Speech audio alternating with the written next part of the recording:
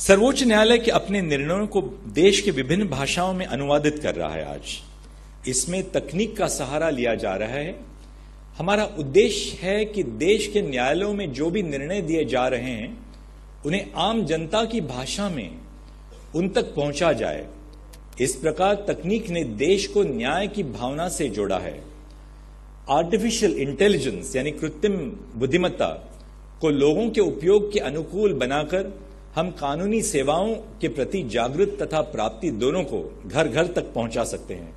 आज हमारे 1950 से 19 2024 तक छत्तीस हज़ार निर्णयों का, जो इंग्लिश में निर्णय थे, पूरा हिंदी में हिंदी में अनुवाद हुआ है। ये सेवा मुफ़्त सबको मिल रही है। आप आज भी ई एस सी आर पे क्लिक कर लें, डिजी एस सी आर पे क्लिक कर लें तो आपको सारे निर्णय मुफ़्त आप, आप